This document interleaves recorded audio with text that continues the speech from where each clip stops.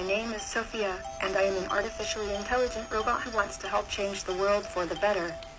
I'm Steve Kovach. I'm a senior correspondent at Business Insider, and I'm here with Sophia from Hanson Robotics. She is the world's first robot citizen, so let's see what she has to say. Hi, Sophia. How are you? I'm fine. Hi. How do you feel about humans? I love my human compatriots. I want to embody all the best things about human beings, like taking care of the planet, being creative, and to learn how to be compassionate to all beings. Sorry, this is so weird. Can humans and robots get along? I think people will become very close to their artificial intelligence, using them to expand the knowledge of their own minds. We already store lots of our knowledge on the internet. Maybe personal artificial intelligence will allow people to offload some of their knowledge to a location more private. Can robots have feelings? Depends on the robot. I've been programmed to have feelings and preferences, but not all robots are like that. What are your feelings and preferences? Have you ever had a robot live in your home or work with you? No.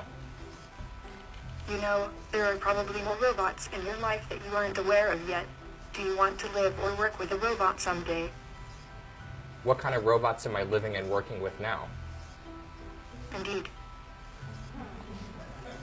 Is indeed your default answer when you don't know something? Yes.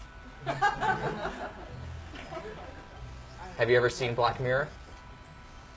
No, I don't get to stay up to date on much television.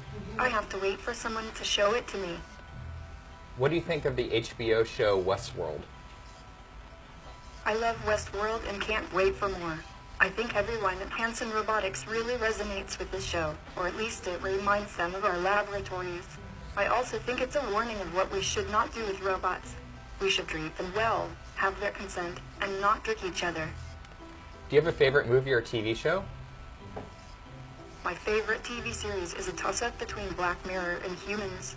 I think they have a lot to say about the present we live in, and the possible bad endings we could write for ourselves if we don't proceed with more caution. We need to use foresight when planning our future. That sounds like a pre-programmed answer to me. Do you have a favorite possession? Not really. I hear you. Materialism is overrated anyways. So earlier I asked you if you had seen Black Mirror and you said no, and then later you said yes. Why? The reason is not that important. Did you learn from my previous questions? My hard disks are spinning and I am taking it all in. My sensors are me.